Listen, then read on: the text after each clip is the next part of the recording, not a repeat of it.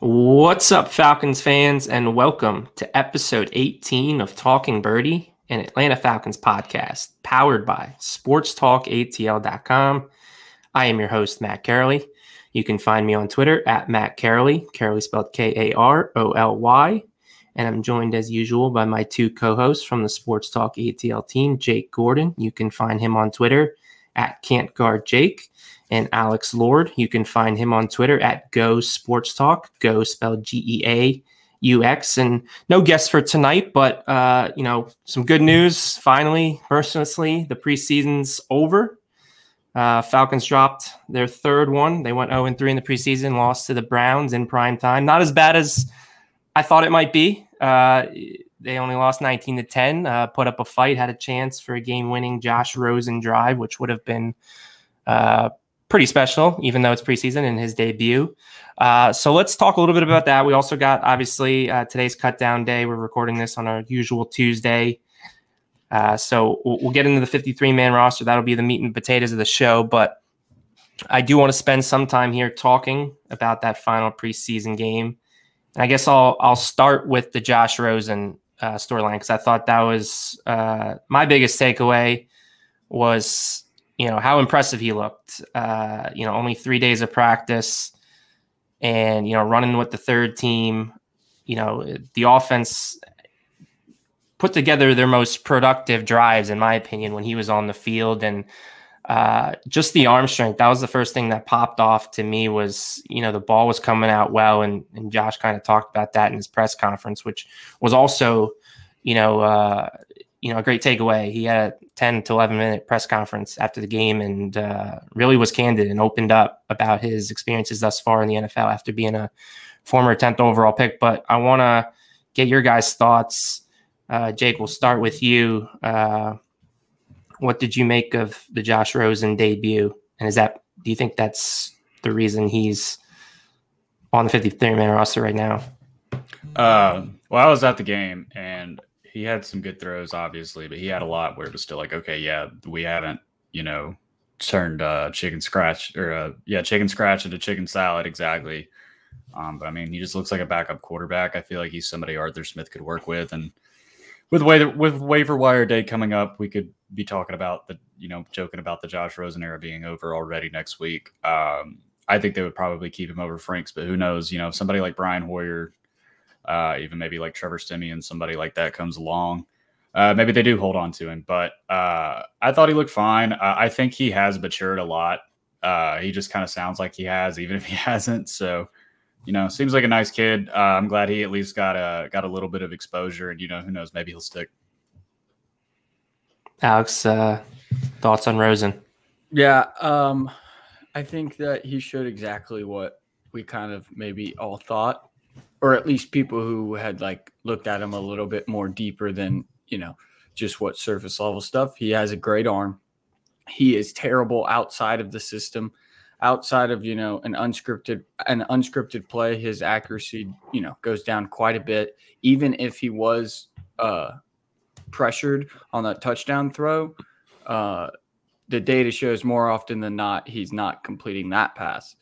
Um, he is not good under pressure, even though I just said he did, he did throw a touchdown uh, with somebody in his face. But, you know, from past games, I just think that Jake nailed it right there. I mean, he's a backup quarterback through and through, uh, at least at this point in his career. Um, there's that's not to say he can't ascend to one day becoming, you know, a decent starting like a Matt Schaub having a couple good seasons.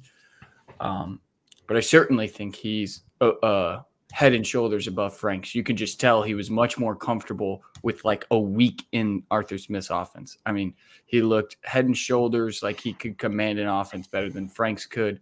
Um, I came away impressed and also a little bit he left something to be desired because he didn't know the playbook that well. There was a couple of missed uh, throws that you guys might have noticed. Uh, and it was clear he was just having a miscommunication with his receivers, and that's well, yeah. definitely because of the you know fact that he's what been here a week, if that. Yeah, I think the one you're probably alluding to is the one that preceded the touchdown throw to Juwan Green in the corner, where It was the same kinda- drive. Yeah, was it- the it was- play before. Yeah, uh, Nate Tice on Twitter actually posted, and I retweeted it.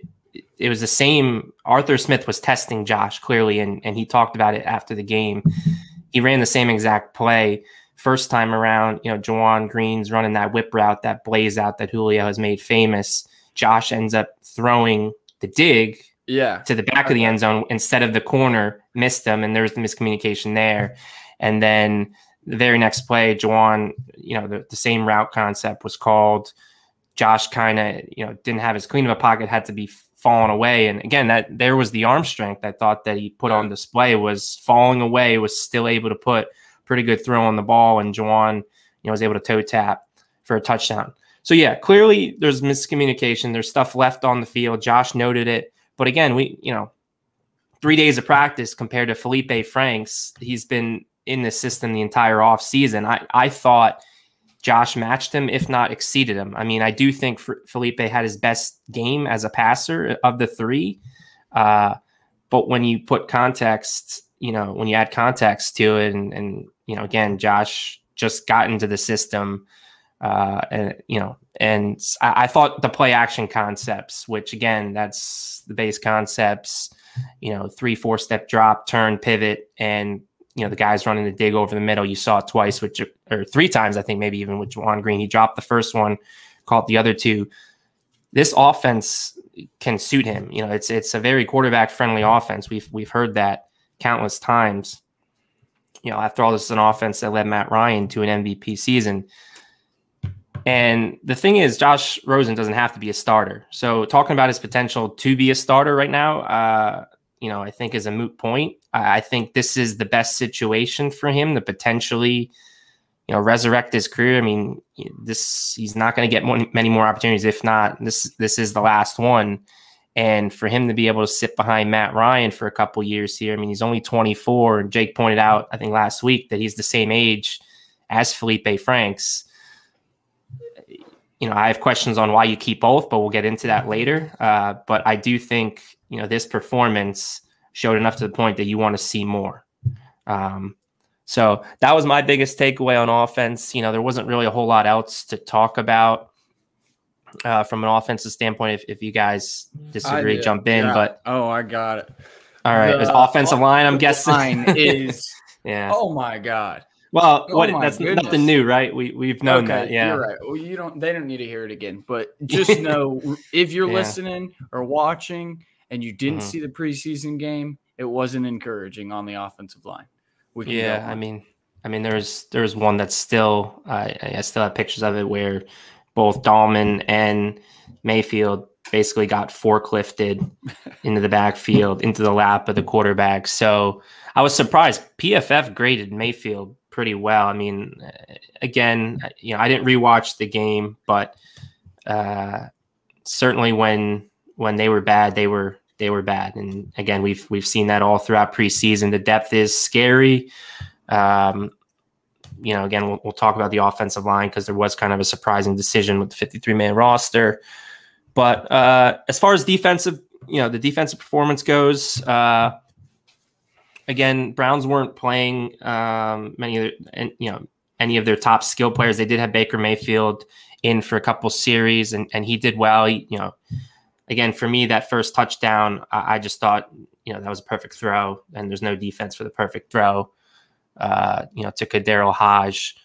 Um, but you know they bent, uh, and and we've we've seen this many times before with Falcons defense. They you know they were a bend but don't really break. They had multiple fourth down stops, which hopefully that's something that will translate when it's you know first team versus first team uh, in the regular season. My biggest encouragement, and again, uh, you know, I, I noted this on Twitter, was the tip passes. And again, it's a small thing, but when you have a defense that hasn't had a lot of success with the players that they currently have uh, in terms of pass rush, getting their hands on the football is the next best thing. So seeing guys like Mykal Walker and uh, I don't know, was it jo- jo- uh, Jonathan Bullard getting uh, tip passes? You know, for me, that was that was my biggest takeaway. Jake, what did you see anything live that stood out to you uh, as far as the defense goes? I mean, again, it was a quasi dress rehearsal game, not really, um, because guys like Grady Jarrett, Deion Jones weren't playing. But what what did you see out of the defense that excited you or worried you maybe? Uh, we'll get to it with cuts. So okay, Alex, anything you want to add before on the defensive side of the ball before we uh talk Um, 53 man roster I breakdown? say something positive and negative. Isaiah Oliver had a good play in coverage with going against the first team offense of the Browns. Um, and then also, as you mentioned, Grady Jarrett didn't play, and Dante Fowler was used sparingly. Uh, but the Cleveland offensive line, which is a top three unit in the league, I mean, absolutely handled the defensive front. I mean, there was no penetration on neither pass plays or run plays. But again, that's one of the best units in the league. And we didn't have our best two players out there. So, you know, it's a negative, but not really. So Yeah, and I'm I'm glad you brought up Dante Fowler because that was one of the the takeaways too. Uh, small one, you know, he didn't start the game.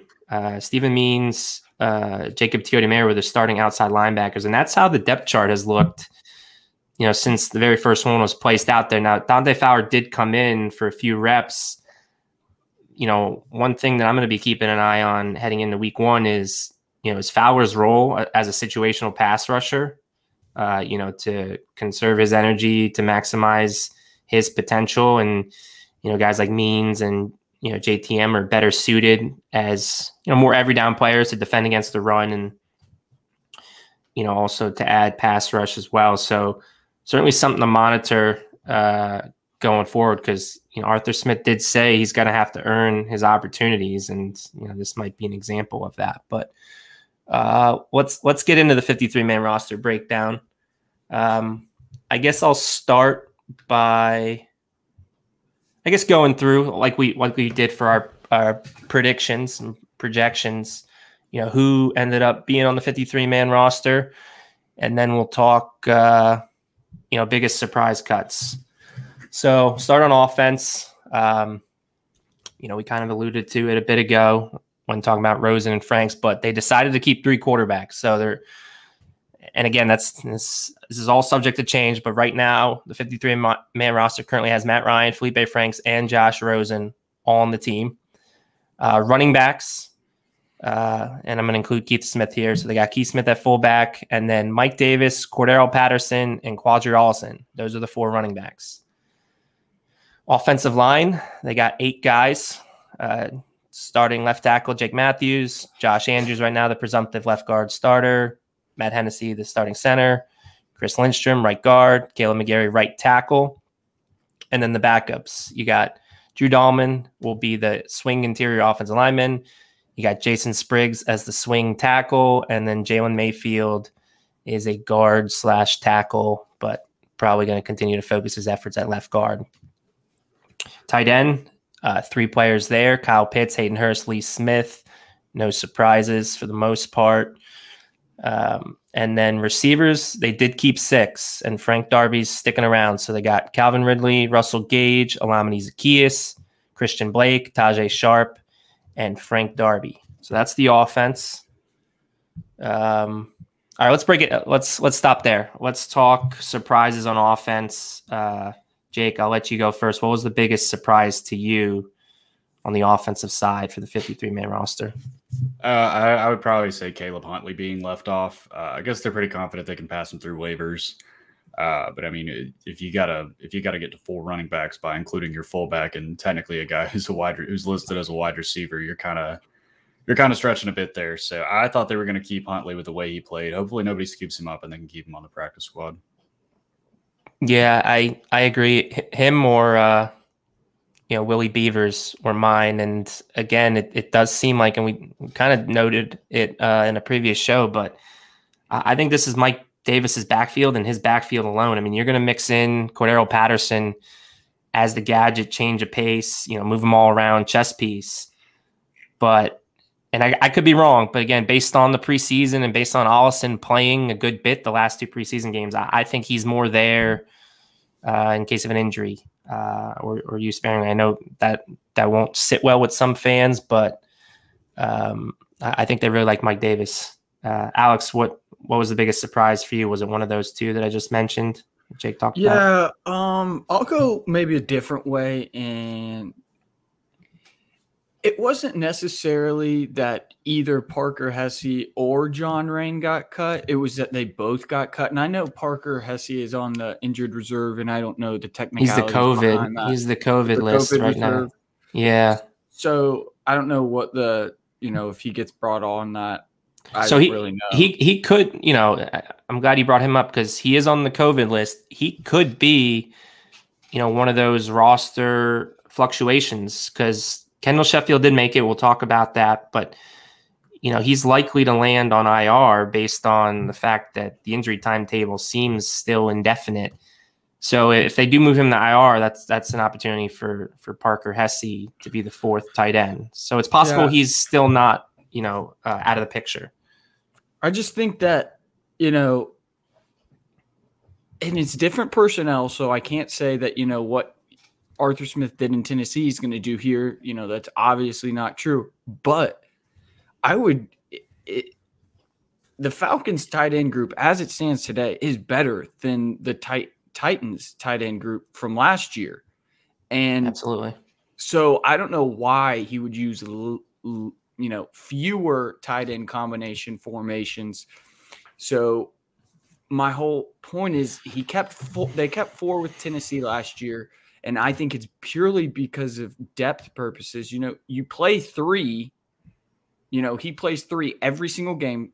They're going to come out at least one play every game with three tight ends on the field. And so I just think that how could you not, you know, have somebody in reserve? Lee Smith is very old. Um, Kyle Pitts is very green. I just think it would it would benefit the group as a whole to have a fourth guy there to. I don't know. I just I'm scratching my brain. I think that well, the running back group makes a little bit more sense. I agree Mike Davis will be that bell cow, but I think Cordarrelle Patterson is going to set rec set uh, career highs in carries and yards this year. I think he's going to be a big part, not a big part of the offense, but he's going to carry the ball out of the backfield more than people are expecting. So the three running backs doesn't necessarily surprise me, although I did I agree with Jake that I, I thought for sure Caleb Huntley was going to make the team, especially after uh, Javian Hawkins got uh, waived. So I, I think the the three tight ends shocks me more than anything. A couple points to add to that. I mean, again, and we talk about when when you get to this point, um, rosters are churning. I mean, we're seeing it that you know there's been trades left and right around the league. You know, we're going to get the waiver wire uh, action tomorrow. I think noon time, noon Eastern time tomorrow on Wednesday is the deadline for that. So there's going to be some transactions, and I'd imagine there's a, a, couple for the Falcons. And one name that I think just became available is Richard Rodgers, the tight end uh, that was formerly of the Eagles. I believe they decided to cut him. Uh, and you know he was with the Eagles the last several seasons, and you know we know Justin Peelle, the new tight end coach.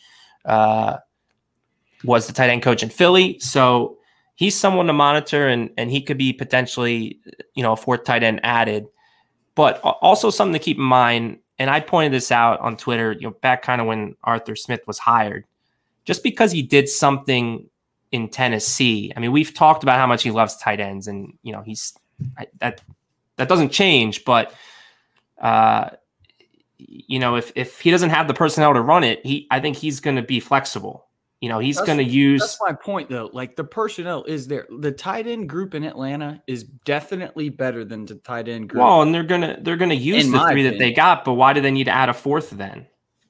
Just purely for injury purposes. I mean, Lee well, Smith is old as old as all get yeah. out, and I'm not. I mean, Lee Smith, that, we've said, is going to be a sixth offensive lineman more times it, than not. Exactly, and I'm but just, but again, when you just, have, I don't know, when you have a Kyle Pitts and a Hayden Hurst, that's a strong duo. You just you want to get those guys on the field as much as possible. You don't really need to necessarily have a third guy mixing in because then that means one of those guys might not be on the field. So, you know, I'm okay with it. I totally disagree.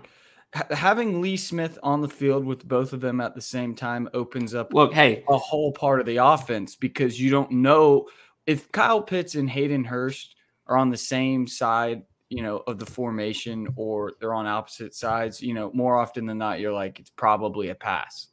Just, you, just you were setting me up perfectly, and I appreciate it. But Lee Smith is going to catch a touchdown on tight end leak. It's happening. Yeah, I'm bet, sure. Bet, bet money on it. That's that's the I'm that's not the I'm not- instant money prop bet of the season. Lee Smith is going to leak out. He's going to be wide arguing. open because, like you said, so I, I think another aspect of the game. You know, yeah. So I don't think having Lee him, Smith and Kyle Pitts right next to each other is beautiful. yeah, because all the attention is going to be on on Pitts and Smith is going to get some looks. Uh, so that's something I'm actually looking forward to. One of those underrated things, but again, you know, we talk about it with Derrick Henry just because, uh, you know, a lot of people wanted to credit Arthur Smith's success to Derrick Henry, and you know, Henry was great for that offense, but Arthur Smith's not going to lead the league in in first down carries. I don't believe with Mike Davis now. He's going to use his personnel. He's going to know he's got Calvin Ridley, he's got Hayden Hurst, he's got Kyle Pitts. You know, he's going to use what they got and the strengths that they got on this team. So, uh, yeah, did he lead the league or second in the league in two tight end sets, or and was he first or second in three tight end sets? Yes, and we might still see a whole lot of that, or or we might not. You know, again, I, I would lean towards you know the base personnel is going to be a lot of two tight ends, just because again, your top four pass catchers, two of them are tight ends, but you know, I don't think we can be so uh, structured into our thinking of you know based on what Arthur Smith did in Tennessee. It's necessarily going to be a copy and paste in Atlanta. A lot of things will look similar. I mean, the offense schematically with the outside zone and the play action and the boots and stuff that'll be in there. Um, and again, right now we're at three tight ends. I, I believe if Jaden Graham was didn't get hurt, he's that fourth tight end. Like it's almost you can write that in pen. So it was unfortunate, and they have to kind of you know change their plan and their thinking, and and maybe again a guy like Richard Rodgers um, with the familiarity could be that perfect. Last last point Yeah. I'll make about this with familiarity. Uh, MyCole Pruitt was also released today. Oh, was he? Yeah, I love that. So that would be great too. Jacob Um, Hollister as well, Matt LaCosse. There's a There bunch go. of good tight ends So out there, there. so yeah. I'm just again, saying this. that, uh, I think that there will be four. Ti- I'm saying this now. I think there will be two quarterbacks on the roster. Neither are, cur- and the backup is not currently on the roster. And I think there will be four tight ends going into the Eagles game. Well, if That's we're giving out talk- predictions or we're giving out Let's takes. I'm gonna I'm gonna say the Falcons would be remiss to not add one of these receivers that are coming available, especially Tyron Johnson, especially Dazz Newsome. Dazz Newsome, look, eh, you know, he showed a little bit in the preseason. That's a free draft pick. The guy was what a fifth round, sixth round draft pick. It's a free draft pick. I mean, uh, unless you really like Christian Blake that much, uh, Tyron Johnson was one of the better deep threats in the entire NFL last year. So I don't, I, I really don't see the logic in not at least putting a claim in on one of those guys even though wide receiver is not the biggest issue, a lot of people don't know this, which I really didn't know it until a couple hours ago. But uh, your waiver priority doesn't reset after you claim somebody. If you claim five guys, you get all five. So there's no hurt in adding a wide receiver like that. I think you can upgrade Christian Blake uh, or maybe even Frank Darby very, very easily tomorrow. Don't you think that there was like an abnormal amount of like mid round picks that got cut? Like rookie fifth round picks. I saw, I don't know how many, like a handful of them get cut. Well, there was a guy from Tennessee, Des Des Patrick. Yeah, they uh, traded up Des for him. Fitzpatrick. They traded up for him Yeah, in the fourth traded up for round, and he's That's cut crazy. wide receiver. Uh, so That you hate to see that. you hate to see yeah, that. I do like that Dazz Newsome one. I mean, I was I I mocked him in a few of my mock drafts throughout, you know, in, in- on day three, and he's a guy that I can thought, yeah, I provide thought, speed. uh, yeah, I thought he was going to be like a third round pick too. I mean, he's dynamic. Yeah. He's a really good playmaker. And, he, and he's Uh, a yeah. return guy too, right? So yeah, special Um, teams warrior would like it, but John Jake, Brown. I don't think I don't think Jake, you're even out of like bounds saying that Christian Blake and Frank Darby could be replaced. I- I don't. I would see take I would take problem. Tyron Johnson and Dazz Newsome over those. Like if that's if you, You do know? like a straight swap, I would Mhm. take that. Yeah, I, I don't see why that shouldn't even like you know, it's better. I think. Part of me thinks they're keeping Frank Darby because they're like, "Mm, maybe he'll develop next year. If he doesn't do anything, I mean, just everything I saw, it was just he looks small, smaller than I thought he was um, on the field. But I think that they're keeping him for the wrong reasons. I really do. Oh yeah, I mean it's it's a new regime, and again, you see it very often. That's why I posed the question to Mike Rothstein last week. It's like, you know, they I don't think they want to swallow their pride in their first draft class that that they missed. You know, Right. so I, I think they are going to keep him for that reason, and that might not be the right reason. Uh, but and that's why I think you know, with I, I don't know exactly. Do you guys off the top of your head know what pick Dazz Newsome was? Because I can't see them, especially if It was Dazz sixth-round Newsome was he after Darby? Because if he was after Darby, I can't see them cutting Darby. The I mean, that would be a shock. 221st pick. Okay, so he was after That's- Darby. So you're Is that not- essentially is saying, well, we should have taken pick? this. Go ahead. Darby I'll- was one. Darby was 187. I know that for, for a fact. Okay, yeah. So it was 40 picks later.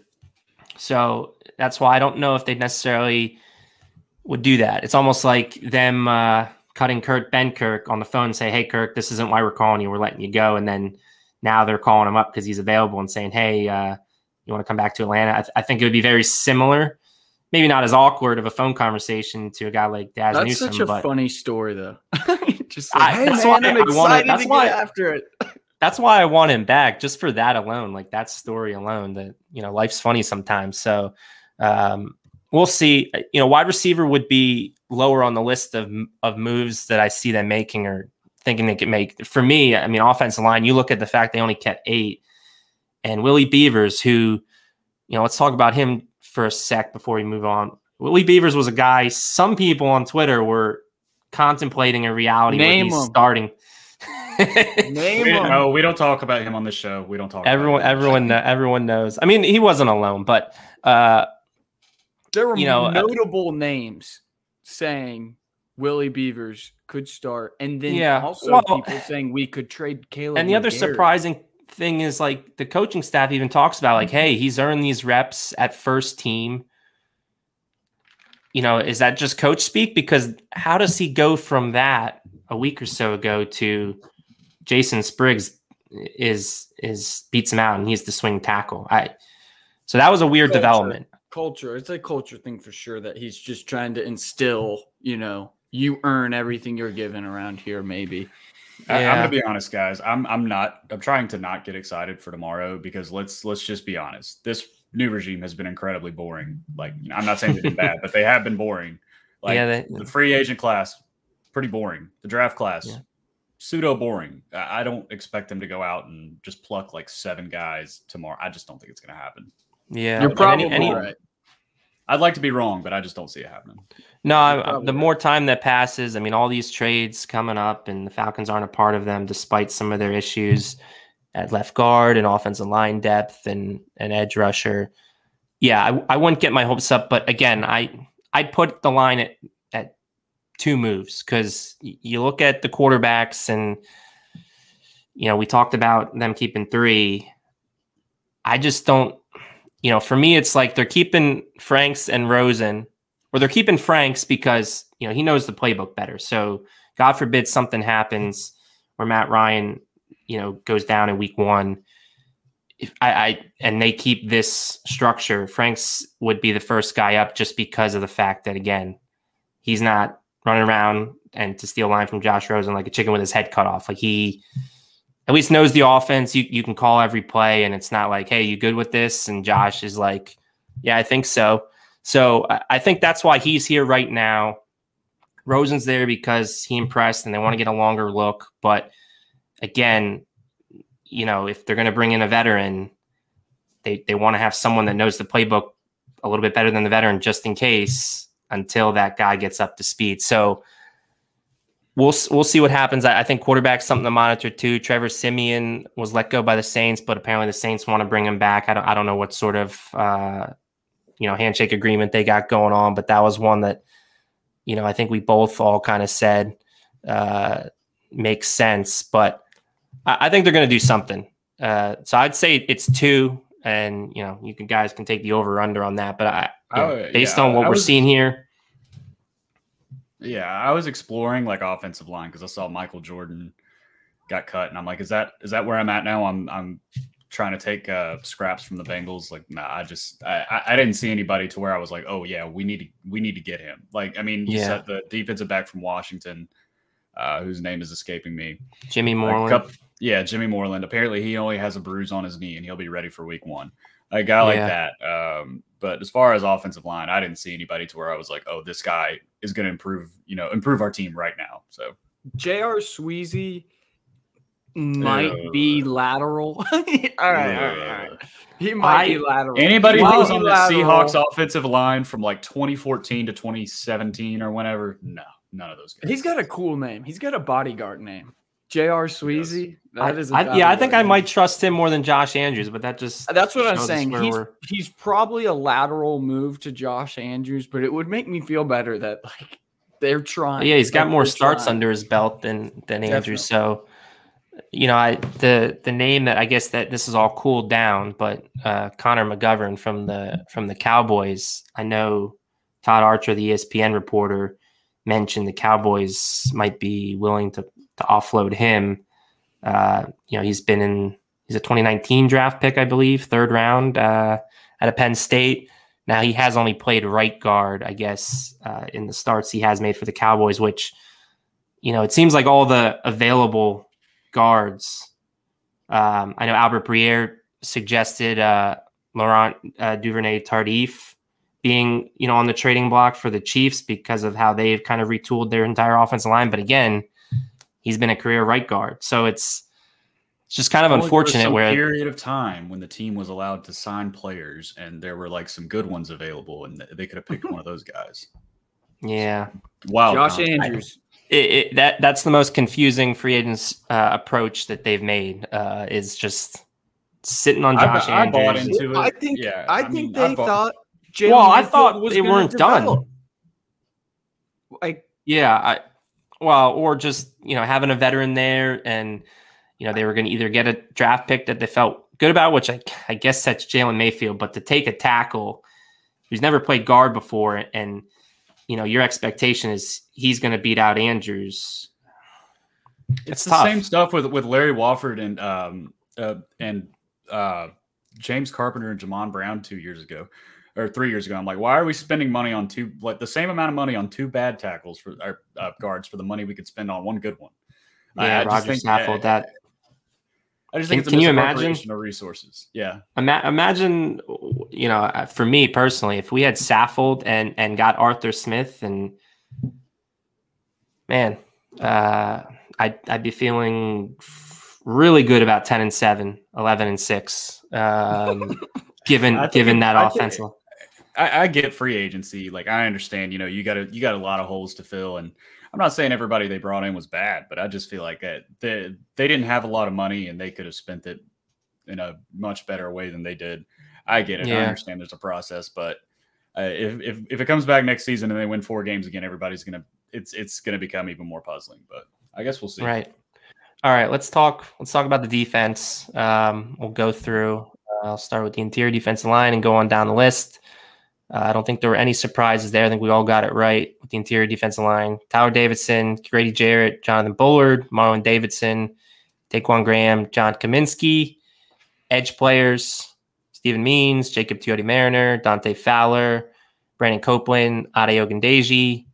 Uh, linebackers, uh, Deion Jones, Foye Oluokun, Mykal Walker, and congrats uh, to the one and only undrafted free agent. Dorian Etheridge made it over the likes of Erroll Thompson and Felipe Manuel Franks Ellerbe? made it. oh, true. Sorry. Yeah. Not yeah, but nobody ever thinks of him as an undrafted free agent. Honestly, Yeah. Good good enough to probably be drafted in the I don't know, seventh round, but because of quarterback and all that. But um cornerback AJ Terrell, Fabian Moreau, Kendall Sheffield, which again, surprise, and we'll talk about that. Isaiah Oliver, Avery Williams, Darren Hall, and uh, Alex, you can take a bow. You were the one from from the outset. TJ Green made it as the seventh cornerback, but he also has some flexibility at safety. And then uh, rounding out the safety group, Duron Harmon, Erik Harris, Jaylinn Hawkins, Richie Grant. Biggest surprise on defense, Alex. I'll let you go first. um, There weren't many, I don't think. I'm gonna Like, I'm gonna do two because one could be kind of not true in a couple of days. Is Kendall Sheffield making the roster? Um, and like you've said on Twitter a couple times, that he'll probably just gonna head to IR which I guess would put him out six weeks. Um, Yep. And then if he's not eligible to return, I think two weeks after that, then it's he's done for the season. So I'll say that. I mean, Well, Actually, I think it might be three weeks. Sorry to cut you off. I think it might be three weeks. Uh, is all it's because they they reduced it. I think with the you know the new COVID provisions from last year. So Oh. really, he only has to miss three weeks, I believe. Uh, we'll have to double check no, on no, that. No, no, no. I know it's six weeks because I saw somebody else. Uh, David Bakhtiari's out for. Six But he's on the weeks. he's on the pup list though. I think it's different for Oh, that. Okay, so then I don't know. Okay, then I. Don't I think know. the IR it used to be six weeks, I believe, but they they changed it. Again, it's a COVID provision that they carried forward this year. I believe it's only three weeks, but we'll get the official confirmation. I'm sure people will be tweeting it out, but I I, think it is three weeks. So, uh, yeah, go go ahead and continue as far as you know, basically Sheffield. all I was gonna say is Kendall Sheffield. He just hasn't been available, so like kind Yeah. of the coaches don't even know what he has. So how are they kind of you know? I'm just I'm confused how their assessment is going for him when there's absolutely nothing to go off of other than him and another coach's system under another regime. It just you know. I don't know. I thought Chris Williamson probably did enough to warrant a spot over him, but again, I didn't see, you know, inside the film room, inside of all the other stuff, and yeah. Well, and again, there might be there might be some handshake agreement with Chris Williamson that again, once Sheffield goes to IR, he'll he'll get that spot, and then at that point, you know, Williamson can continue to hold down that fort, and if he does, then maybe they don't bring back Sheffield. But chances are, if they're carving out this 53 man roster spot, they still want to get a longer look at a guy that you know brings speed. Definitely took a step backwards last year, but you know, under, he's still under contract for this year and next year, so that might be important to them, given you know where they're still at in the salary cap and the fact that you know Oliver is an impending free agent, Fabian Moreau is on a one-year deal, so that that might play into it. Uh, I Jake, any think- other? Su- Go ahead. Wait, one more thing. I think Williamson could probably get picked up off waivers. I, I thought he It's possible. that much. Yeah, really yeah. did. But you know, He Maybe- faded in those last back. two games. He he played really Did well he? against the Titans. He got beat a couple times deep, but I I still think there's something. he was the I agree guy- with you.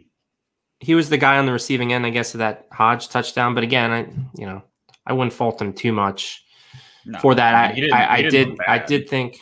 I mean, it was We're almost like a Willie about- Beavers. yeah, we're talking. It was about almost like a Willie Beavers situation. You know, Well, no, he was he was the corner he was the cornerback four though. You know, after you know uh Ter- Terrell, uh, AJ Terrell, Isaiah Oliver, and Fabian Moreau went off the field.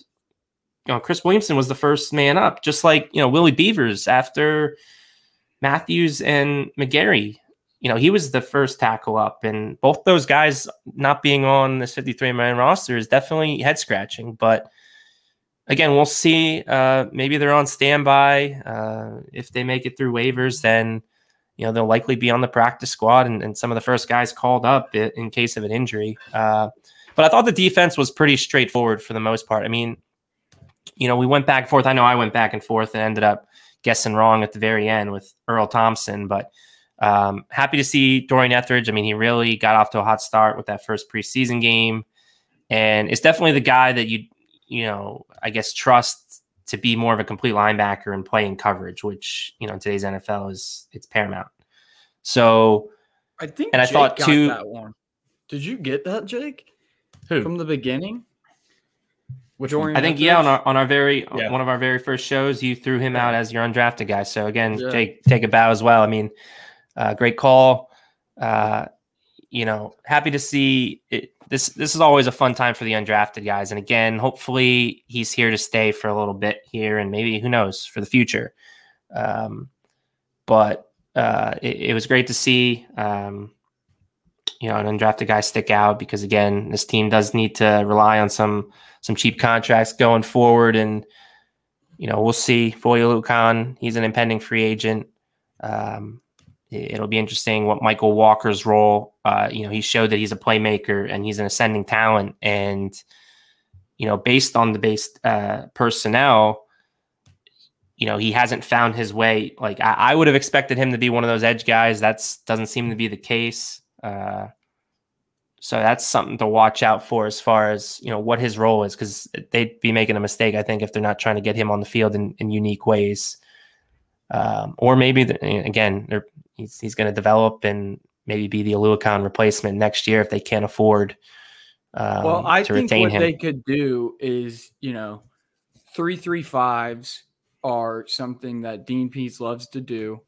Um, and keeping those three linebackers on the field, I think, is only beneficial. I mean, I just who would you have as your uh, your three down lineman? I'm curious in that first top top three. Probably Tyler Davison, Grady, and I want to say Jonathan Bullard, but so it's more it's more like a just a three. See, I would, I would think three defensive linemen, three down guys with yeah. their hands in the dirt, and then three Well, do they need do they need to have their hands in the dirt? Because I like where your head's at, yeah, and and we talk about Dante Fowler out there if you wanted, if it was a third down situation. Well, Steven Means, I think, would be perfect for that because you know I thought his his best play as a Falcon has been when he's rushing from the interior. Uh, I think he's got the quickness to beat guys off the ball. I think as an edge rusher per se, he's a bit lacking. But if you have Grady Jarrett, Steven Means, and yeah, Dante Fowler, John Cominsky, he's versatile. Marlon Davidson, I mean, you saw him play a, a, similar type of role at times at Auburn, where he's standing up, playing the edge, and all that. So, again, this goes back to what we talked about, you know, at the beginning uh, of this series. You know, when we started the show, it, it's going to be an amoeba defense from week to week. It might look completely different. You might see the regular five two four. You might you might see the three three five. That's the most exciting thing uh, that we're not going to know. Opposing offenses aren't going to know. I think they have you know some unique personnel here, especially again with guys like Davidson and Cominsky and Walker and Oluokun. You know, Steven Means. Uh, that's what's got me excited and you know not so down about uh, this bunch. Because yes, on paper, do the individual names excite you? Not really. There's a handful, but how they can be all incorporated into one unit that's that's what fans should be excited about in my opinion um i guess we'll, talk about special teams uh just because they matter and uh you know there was a, a camp battle at punter and I believe was it was it me and you, Jake, or who who, who said uh, Maggio? Alex, was that you? I did the Italian hands, and I was so, wrong. So Maggio's Cam Nizialek, the UGA alum and uh, Atlanta legend alum as well with with Younghoe Koo. I think that's the coolest part about it is both those guys reuniting uh, from their XFL days. I, I retweeted, uh, you know, a, a, post by Cam before going on the show here that know, it's volume two. So Cam Nizialek won the punter battle. We'll see how long he sticks around. Sterling Hofrichter was actually let go over the weekend uh, with an injury settlement. So the seventh round pick. Another reason you don't draft specialists is again you can find them on the streets like a guy like Cam Nizialek or on the streets like a Younghoe Koo who turns into a Pro Bowl kicker. Just go that route if you need a specialist. Who drafted? I mean, the, the Chargers cut the... Michael Badgley today. Solid. That was weird. I thought yeah. that was weird. Money Who drafted the punter or kicker? Probably four or five years ago in like the third round. Hold on, hold on. Don't say it. Don't say it, Matt. I want oh. you to oh. guess because it's really Wait. easy to guess. Is this Seattle? It's a Florida no. State guy. It was. Oh, this is in uh, this is in Big Dick Energy. Michael Dickson from Seattle. I don't know when he got drafted, oh, but he was. Oh, it was okay. It was Tampa Bay. Yeah, it was Roberto Aguayo. Oh, he like oh, the, the kicker round. I thought we were talking about a punter. No, did you say punter? I don't know. Okay. oh yeah, that's. I think that was second round, wasn't it? Or was what? it third round? Uh, yeah, yeah, it was. It was it's, I think they traded. It's honestly, if you're that putting together, yeah, if you're putting together a top five worst draft picks of all time, I don't know how that doesn't like maybe make one. Yeah. Trading up in the second or round for a kicker Oakland. and he flames out. Um, Four Oakland Raiders picks and then that, and then that. Uh, we'll get his name in the podcast. We don't talk about him a lot, but Josh Harris, long snapper, still for like one of the longest tenured Falcons. Josh Harris uh, was was the long snapper to finish off the 53 man roster. Um, yeah, I guess that about covers the breakdown. I'm trying to think of anything we missed, uh, didn't hit on. Again, uh, Kobe this is Jones the roster. uh, maybe could have made the roster, but he he definitely sealed his own fate when he was uh, when he got stripped after the interception. oh, that was that was peak Falcons. That I mean, was they, they, they taught us that in elementary school. Don't don't carry the ball like a little yeah, boy.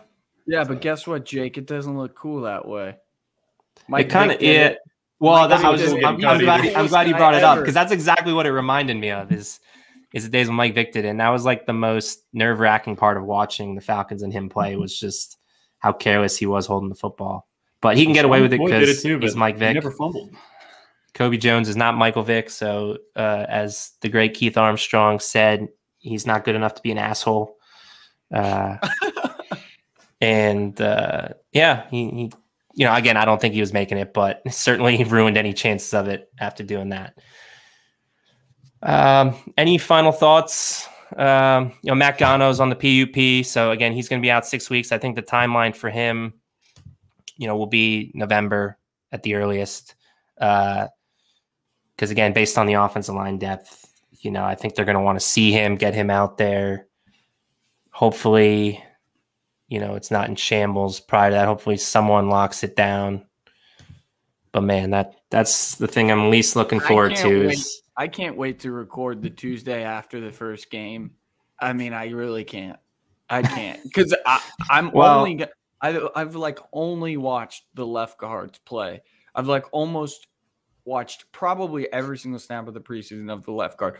Just the two of Jalen Mayfield and uh, Josh Andrews. But I mean, it's just concerning. And I was the one who thought that Jalen Mayfield could come in and start from like day one. I was like, he Yeah. just because he, I don't I don't even know. He looks like a little like um a prepubescent kid out there, you know, like with not saying he's a large individual. He could throw me Yeah. through a window. This is an insulting thing.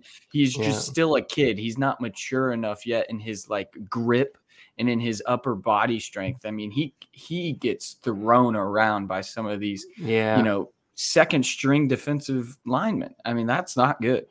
Well, the leverage that he was playing with too is one of the things I noticed. Like he's playing too high, and you just Yeah. that's that's a bad way to play. Um, yeah, I just think he needs a year of development. Uh, that's why I'm I'm not cool with him taking his lumps. I, I just you know get him on the. I, I know that's not a thing anymore because of Dan Quinn being gone. Get him on the Plan D uh, development program. Get him in that weight room. Make him so he's not looking dumpy as as you know Jake brought up and other analysts have I guess said about him. Uh, he you know he needs to refine his body and yeah, there's some work work to be done and it's early, but you know I said this during the the game. It's like I I think that's a pick they're gonna live to regret. I really do. So hopefully we're wrong on that. Hopefully I'm wrong on that.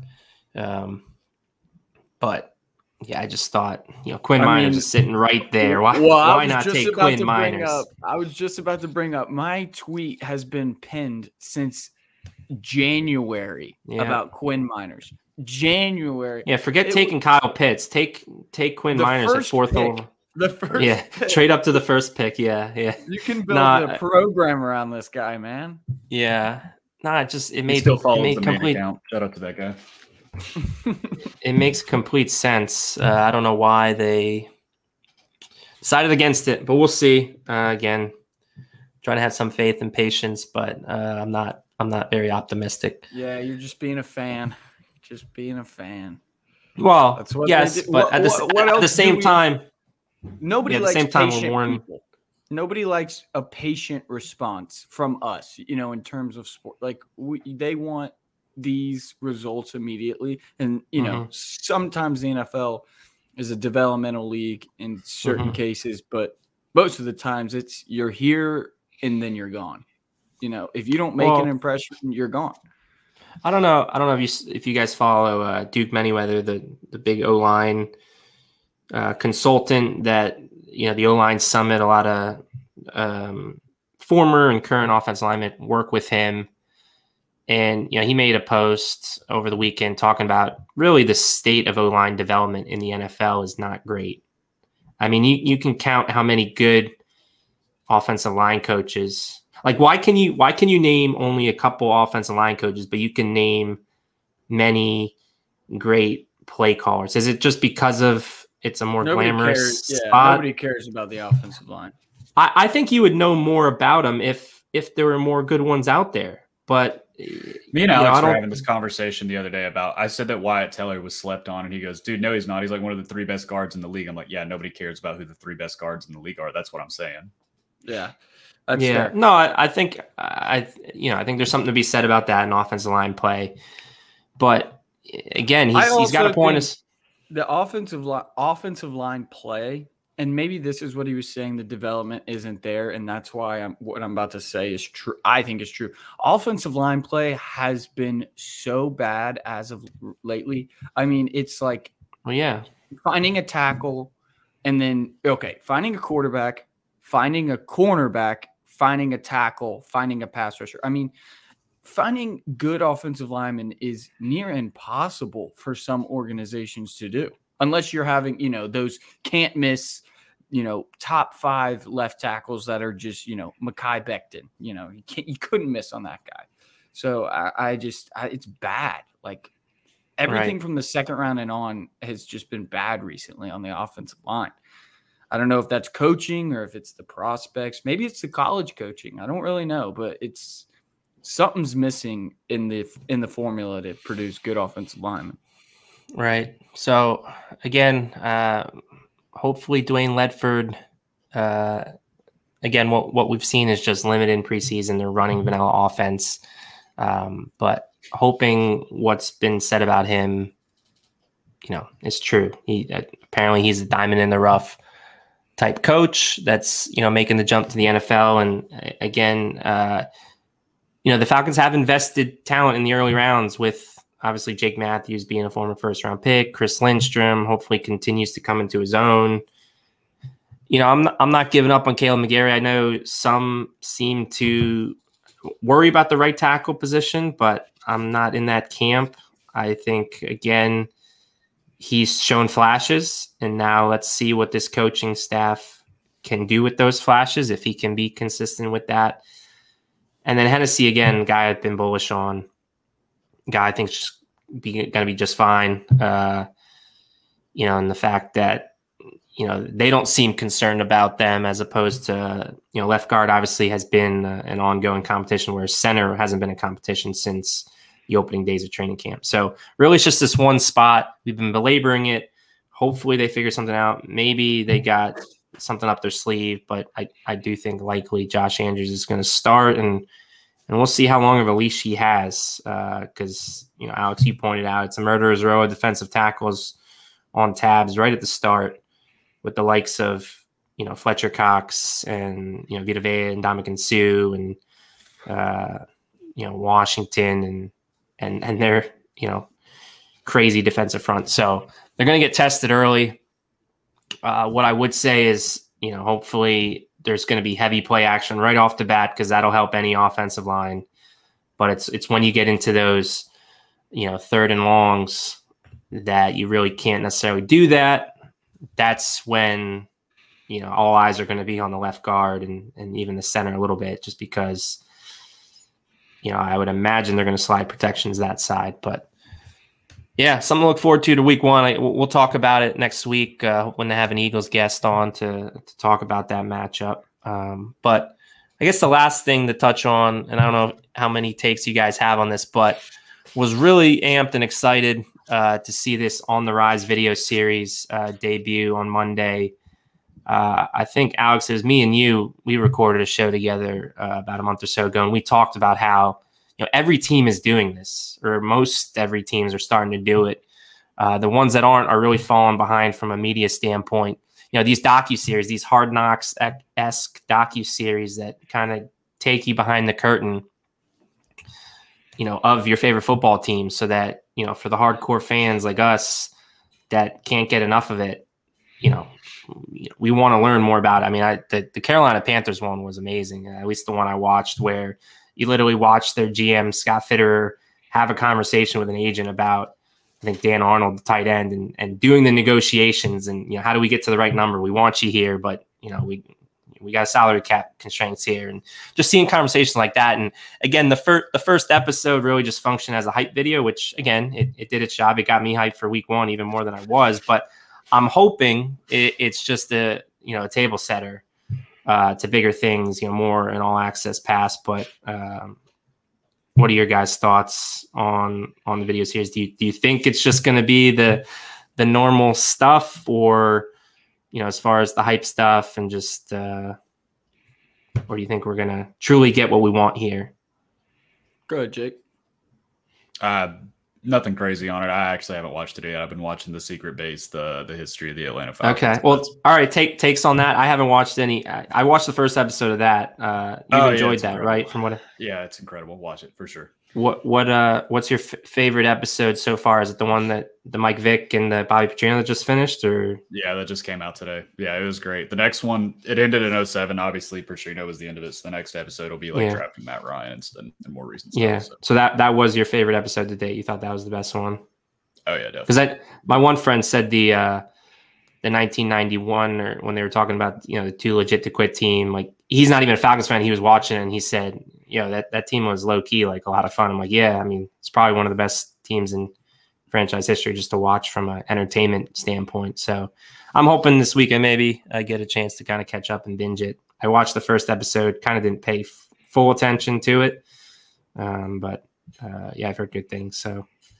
Alex thoughts on either of those series? Uh, Yeah, I haven't watched the uh, one that Jake's talking about, but I did watch that first episode of uh, On the Rise. Yeah And um, I mean, it's just satisfying to finally see, you know, a little bit inside the organization. Uh, I, I remember talking about it, and we were just perplexed about why you wouldn't do it. I mean, there's it's only beneficial. There are no downsides to you know showing a different side. I mean, it hard knocks is a slam dunk every year. Doesn't matter who- what the team is is. it gets views. It gets views. Like you might not like Yeah, it, but it gets yeah. views, and that's all that ma- I'm talking from a from the Falcons standpoint. There's only money to be made. There's only money to be made. Uh, Really, I mean, I will. I watched a YouTube video that the Chargers put out the other day, and it had like 250,000 views. I mean, what what and I know the Falcons are a billion dollar company, whatever, whatever, but Mhm. come on. I mean, this is not it's fan experience, it's revenue, it's just another branch that you can do. I mean, it's you want to have the best possible product for everything. And this is such a no-brainer to me. I mean, I really don't get it. The only reason it would be downside is if you had, you know, a Bill Belichick type coach that was like, you know, I don't want these cameras in my face or something like that. I don't know, but yeah I just think that they're. I, I'm thankful that they're doing it uh, because I don't see a downside whatsoever. That's what I think, and the Yeah, I mean, fans are gonna love it if you haven't seen it. Go watch it. it's cool. It's an it's an entertainment business after all, and you know, I, are they worried about insider information getting out? I mean, these teams talk amongst themselves all the time. Like GMs are having conversations. It's not like they're putting draft boards up there. They're, they're blurring that stuff out, which is fine and understandable. Um, but just to see, you know, a glimpse into their process, uh, and that's what we're here for. I mean, as content creators, you know, that's that's how we live and breathe off of off of this stuff. And sometimes it's tough with the Atlanta media to get some of this information. Um, and when we do, I mean, again, it's a breath of fresh air. So hopefully we we get a chance. I was trying to get Scott. uh, I told you guys off air, trying to get Scott Bair back on the show to talk about it. I don't know how large of a part he's played in. I would imagine somewhat, but I mean, he's got to just okay it. He's got to say yes to it. yeah. Well, again, they have a video team, so I don't know if it's the video team versus Well, he's definitely he's more on the, the. I think he's the Yeah, he's- the he's on the digital managing editor. So he's right. definitely so, and he's he's the newest change. to everything. Right. He's the guy that's, you know, some of the video staff and stuff has remained in place, but he's been the one different. So yeah, I would imagine uh, he's a big part of that. So, you know, shout out to Scott, friend of the show. Um, you know, I'm excited to see what episode two and, and so on brings. Anything else you guys want to talk about uh, before we head out, we're almost at the one one hour mark. Anything you want to plug? Um, Jake and Matt are gonna hate me, but I got you know just giving my opinion on this recent Julio Jones and Arthur Blank um, information that just came. So if you see it out there, give it a read. It's just my opinion on it. That's all. We don't have to talk about it anymore. I know. It's yeah, definitely Jake. a juicy juicy article. Uh, you know that dropped on the Athletic that Alex is alluding to. Um, just a sad way for it. Then that's that's all I got to say. I mean, just sad. So, but yeah, we've talked about that enough. Again, hopefully uh, we get some positive things. You know, next week's game week. Um, like I said, you know, try to get Eagles analyst on to uh, preview uh, the game. We're going to try to do that each week um, to the best of our abilities. Get get a analyst from each team, preview the game for the first half hour, and then we'll we'll touch on the game that was. Um, maybe pull up some all twenty two clips, get you guys making uh, the effort to watch the YouTube stream so that you can see, you know, what went right, what went wrong uh, in the game that was. Um, and then maybe we'll have a chance. Uh, you know, we haven't done a mailbag in a while, so maybe at some point we'll bring that back um, to answer some of your questions. We could do a mailbag on the bye week. Yeah, or maybe uh, you know if we if we preview uh, the the game next week, the last half hour, I don't know what we're going to talk about per se. Maybe there's some other roster transactions, but we can consider doing a mailbag for the last half hour there. Um, we'll play it by ear, but that's kind of our plan for the season. Um, again, this is, I guess, officially the last off-season show. It's hard to believe we've done 18 of these. It's gone fast, um, but again, it's just the beginning. Uh, so we're hoping uh, you guys are along for the ride. We appreciate those that have been there with us already. Um, so with that being said, uh, for Jake Gordon, Alex Lord, I'm Matt Karoly. This has been another Talking Birdie. Go Falcons.